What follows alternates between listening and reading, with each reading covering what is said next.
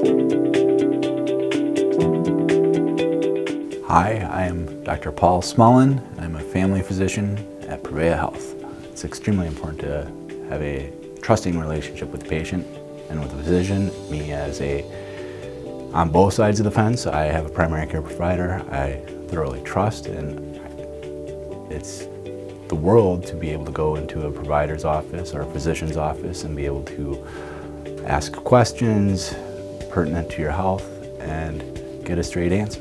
My goal for my patients is to have good quality care with a good relationship, with a journey in front of you that we can get to a common destination together.